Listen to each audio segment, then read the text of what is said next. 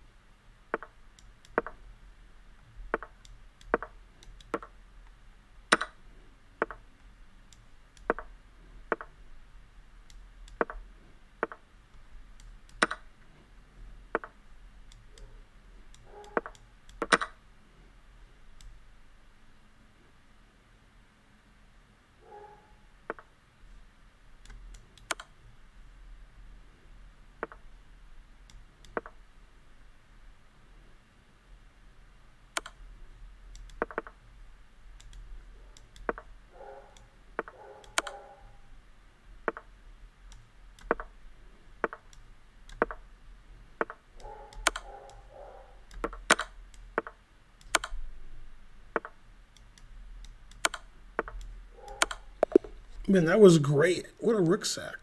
It was all force, too. God damn. Look how great that was. It was zero mistakes, zero whatever.